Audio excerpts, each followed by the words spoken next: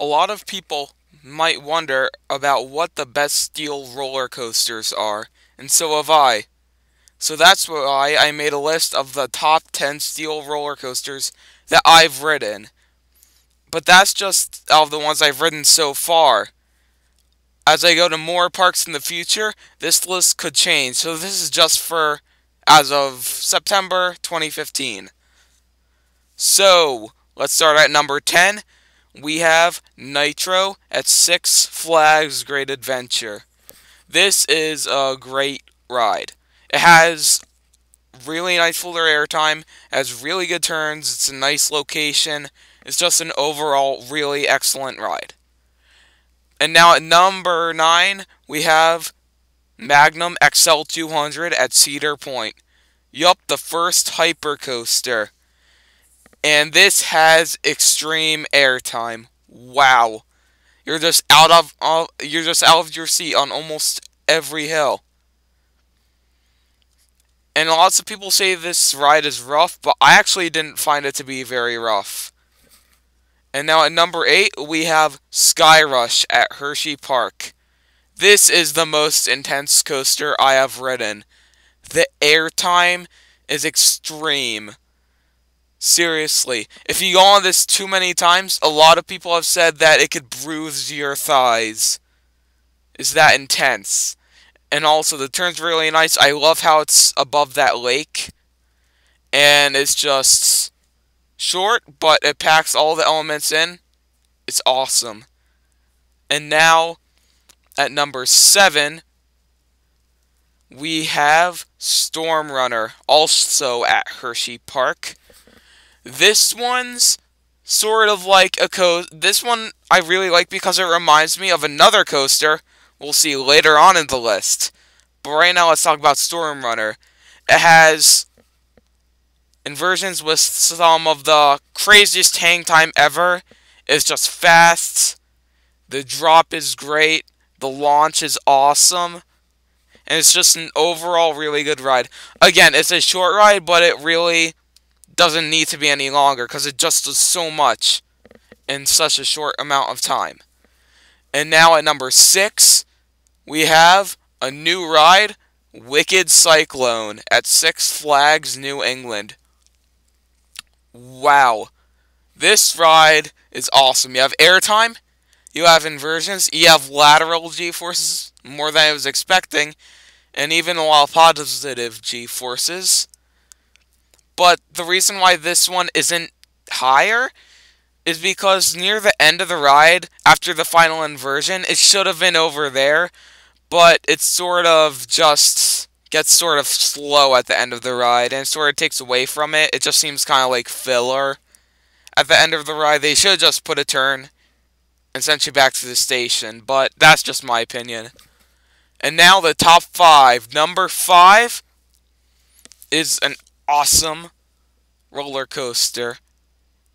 And it's Bizarro at Six Flags New England. Yup, I think this is better than Wicked Cyclone.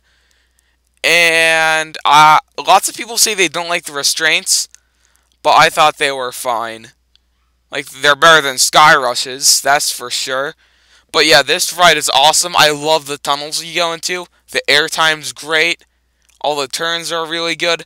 It's just like overall, just a really good all-around experience. Also, I like how it's an out and back in the first half, and then it sort of turns into a twister coaster.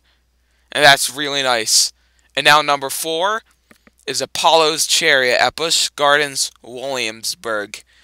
Yeah, this ride, I wasn't expecting it to be as good as the other hyper coasters I've been on, but wow, this one really blew me away. The airtime hills are great. Not as much airtime as like Nitro or Skyrush or Magnum or any of those, but it's still enough to keep you excited. What what I really like is I love how you're in the woods and how you just go along the train. But my favorite part of the ride is that turnaround halfway through the ride where you just go into that helix is just one of the best moments on any coaster, in my opinion. And now we're in the top three. Now, number three is a bit of a controversial choice.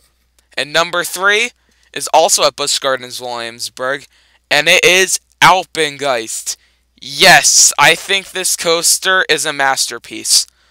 I really love B&M inverts, and they are amazing. And this one's the best out of the ones I've been on. And the first thing is the inversions are so forceful. You just you're just glued to your seat and your feet are just dangling and all the blood's just rushing to your feet for like a solid 10 seconds. It lasts from the vertical loop through all the way through the Cobra roll and it's awesome. And lots of people say this ride is rough, but it wasn't really that rough. It was rough because it was sort of jerky on the Cobra roll and brake run because it, but it's like it sort of feels like the car is going to fly off the track but it doesn't really give you any head banging. But just and the theming is awesome. I love how you just go along the terrain and you have the snowy trenches. That's really cool. And now number two was my number one for a while, but now it's number two because of a coaster I've recently ridden, and it is Maverick at Cedar Point. This ride has everything just everything. Seriously, it has everything. And that's all I have to say. And now my number one choice is also a bit of an unexpected one, but it is Phantom's Revenge at Kennywood. Wow. This ride is extreme. And so, so you do the first drop, which is a curving drop, but it's actually pretty good. Probably the best curved drop on a coaster I've done, other than Alpengeists. But yeah, it's pretty good for a curved drop, and it's pretty decently sized. But then you go up, and then you go into that ravine, and that's the biggest drop. The second drop's the biggest. And you go through Thunderbolt supports, and then from there on you just do turns, you do airtime hills, insane airtime hills that just eject you. You go through just complete awesomeness. And this ride also has an interesting history. It used to be a looping coaster with over-the-shoulder restraints, but no one liked it because it was rough, so they made it a hyper coaster and it's just great, smooth. The terrain, how it interacts with the terrain, wow, that's amazing. And so that's why it's my favorite steel roller coaster. And so that was my list. Bye.